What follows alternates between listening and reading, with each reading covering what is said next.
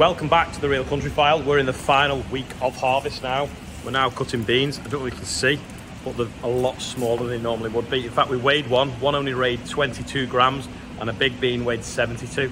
So that is why this year we're only getting about a ton and a half, if that, to the acre of beans. The drought has really affected a lot of spring crops. Although I was talking to someone yesterday, spring barley did really well. So how have your crops fared this year? We could really do with the price going back up on most commodities because fertilizers now hit an all-time high again because of the, the closure of the other fertilizer AN factory in the UK, which is not ideal and not good at all for food security. Anyway, this week Stephen is visiting a dairy farm in Lancashire, so let's see how he got on there.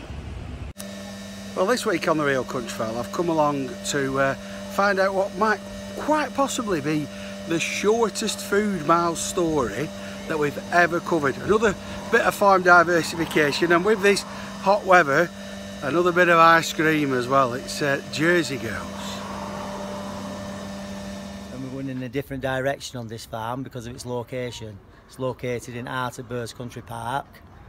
The best part of half a million people walk past farm gates. Is it really? Number one caravan park in country, just past farm. East Lancs Railway outside of us. Yeah, the steam railway. Steam railway. So we thought logical thing here. We've got the Jersey cows, premium quality milk. We'll go into ice cream. So, so have you have you always had jerseys then? We've had jerseys about 20, 21 year now, 21, 22 year. Okay, and what, uh, what made you start with jerseys? Uh, we didn't have a great lot of land and jerseys didn't need a great lot of land, you know, per cow. So let's go and have a look that at was the logical thing to go. So they're in a different different kind of parlour. Don't see many of these around anymore. Oh no, you've not lived unless you've milked in one of these.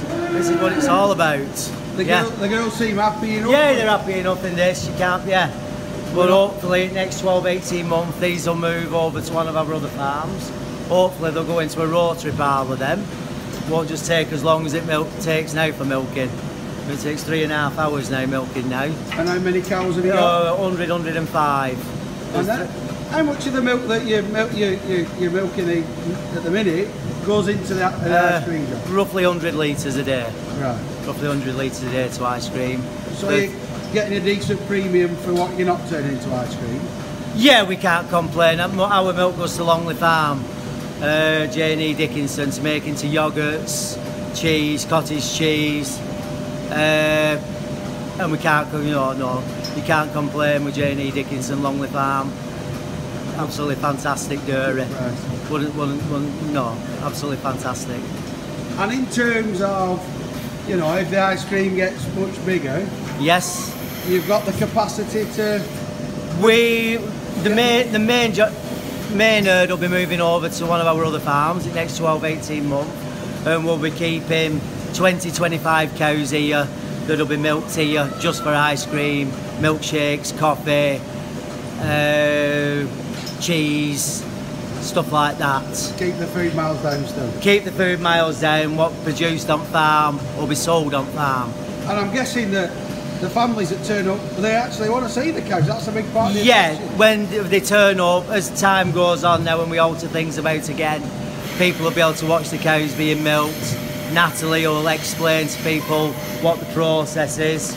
So as it develops now, they'll actually see the cows being milked, they'll see the milk go to the dairy, see it be pasteurised, then they'll see it go into ice cream, go into milkshakes, go into bottles.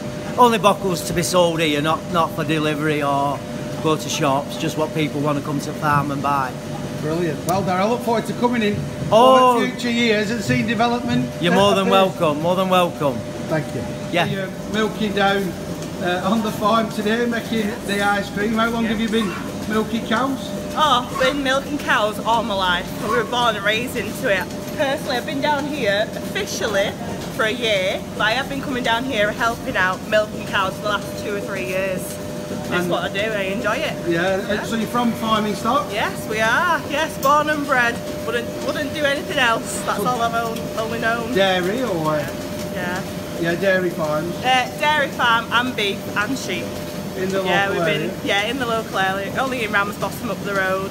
So yeah. what are these girls like to milk their jerseys? They're characters, definitely. They love the love the back legs, definitely. But I'd say they're easier than Holsteins, a lot easier. and they're so much nicer. I prefer Jerseys over Holsteins. They're easier to handle, they're a lot smaller, and they're just like pet dogs really.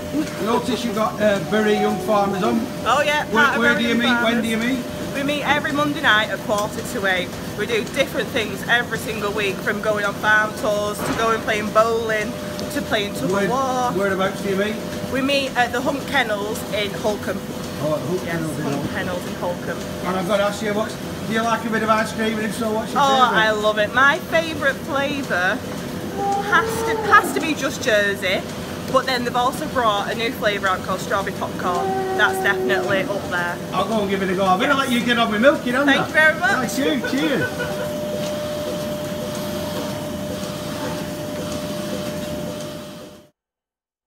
Well, we've, come into the heart of the operation, and uh, Tony's here with uh, with the ice cream making uh, paraphernalia all around you. Tony, how long have you been making ice cream?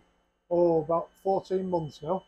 Tell us a little bit about the process, about when you get the milk when it comes in here. What's uh, Okay. what what's the kind of steps that, that you follow? Right, well, we draw the milk from the tanks in the other in the milking shed, uh, bring it through. It has to be all cleaned down, make sure it's hygienically clean, uh, and then we have a, a dry mix, which you can see the ingredients on the shelf behind me. Um, they all weighed out into pans so that we've got specific weights to make the mix. We then mix that with Jersey milk and with Jersey cream to get the wet mix. Once we've got that wet mix, it goes into the top part of the machine just here, and that does all the pasteurising for us and gets it up to a, a temperature of between 85 90 degrees. Make sure that the milk is pasteurised fully. Once we've done that, we then drop that through from there with this device down into the bottom part of the machine, which is the actual ice cream maker. Um, we do a number of flavours. Uh, so some of them are just a plain flavour where we have the jersey, it's just a case of using the base. Uh, some of the other ingredients we mix with a variety of things which you can see on the shelf at the back there uh, to make flavours such as strawberry. Uh, we do mango sorbets where there's no milk involved. Um, we do mint, chocolate, uh, raspberry pavlova, to name a few. And, how- and how's it going? You know, how, how's how's the ice cream business this summer? I'm hoping it's good after heat where we've had. it's it's doing very well at the moment. Uh, the heat wave has helped. Uh, we've had crowds every day, so it's all good. Uh, my problem is trying to keep up with the demand.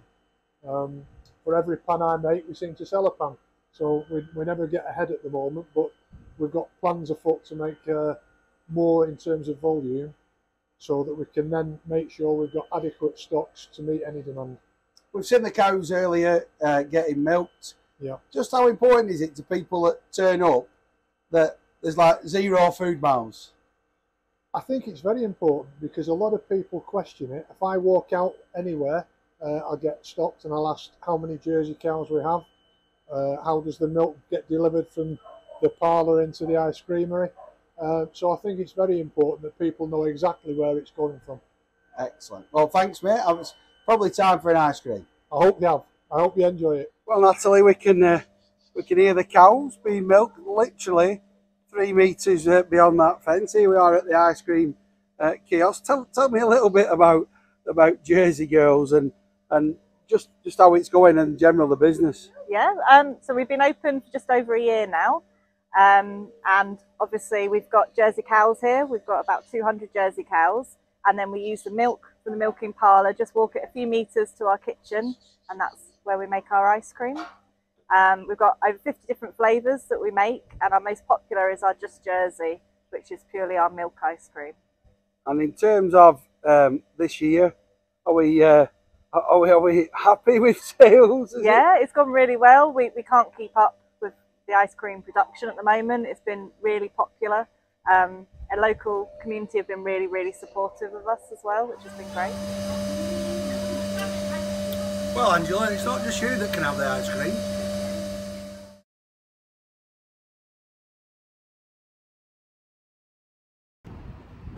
Thanks for that, Stephen. I've also been up in Lancashire this weekend doing a little bit of tractor pulling demonstrations with some farm tractors at a Great Eccleston Show. So saw a lot of people there.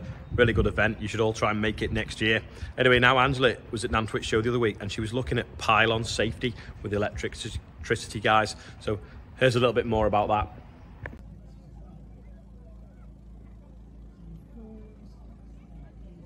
I'm here now with Kevin from SP Energy Networks. And uh, Kevin, I know you've got a, a, really important message that you're talking to about um, safety with farmers here at the Nantwich show. So, so just tell us briefly, overview, what, what is it that you're trying to get across? So we're, we're trying to raise awareness amongst the agricultural community about the, the, the, the dangers and the hazards around uh, overhead power lines. Um, one of the, the, issues that, that, we have is that uh, it's a misconception that people have where, where uh, they see wires mounted on telegraph poles. So these wires, for example, so, here. So the, these wires, for example, here, I mean, these uh, would, would, typically be carrying 11,000 volts. But we, we're, we're, on wood poles, we can have anything up to 33,000 or even 132,000 volt power lines gosh, so not something that you want to be touching with a, a tip-top trailer? Or... No, and, and unfortunately in, in, this day and age, the, the, the, the size of machinery is increasing. Uh, the, the, the, speed of, of, of, uh, of, of, the work being carried out is increasing as well. So all in all, uh, a lot more hazards uh, than, than we're used to from many years ago.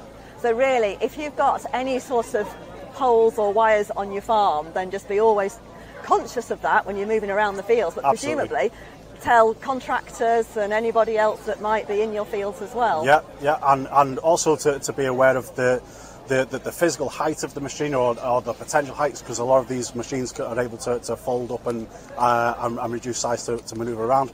Um, but also to be aware of the, the actual height of the lines. Uh, and if you are uh, at, at, all unsure, you can contact SP Energy Networks and we will actually come out and do a, a survey of any uh, power lines that we do have on your property. I see. So if you know your vehicle is a certain number of metres, they could ring you and check will that go under Absolutely. this particular wire. Absolutely. Right. Okay. Great. And I know you've also got uh, some kind of sticker to go in the cab. What's yeah. So so we can provide uh, uh, stickers that will will go inside the cab that you can uh, you can post the the height of the the, the vehicle um, or the height of any lines, uh, especially if you've got a site plan for your for your property. Um, the other thing is that there's also uh, other information available, so you can access um, a document called GS6, uh, which is available from the HSE. You can download it from, download it from the, the HSE's website, and there is also various uh, literature and pamphlets that are available from uh, SP Energy Networks if you get in touch with us. Okay, so simple things to do that could potentially save your life. Absolutely, absolutely. There you go. Keep safe in your fields. That's about all for this week. Thanks for everyone that's watching. Don't forget, if you've got some stories that you want us to cover, send us an email. Or if you know people that are capable of doing some filming like this, only on the phone, and can send us in what's going on on their farm, get in contact with us and we can get them on the show. So, like I say, that's it. Thanks for watching. See you all next week. And if you're not subscribed, don't forget to hit the subscribe button or the like button as well. It'd be handy. Thank you.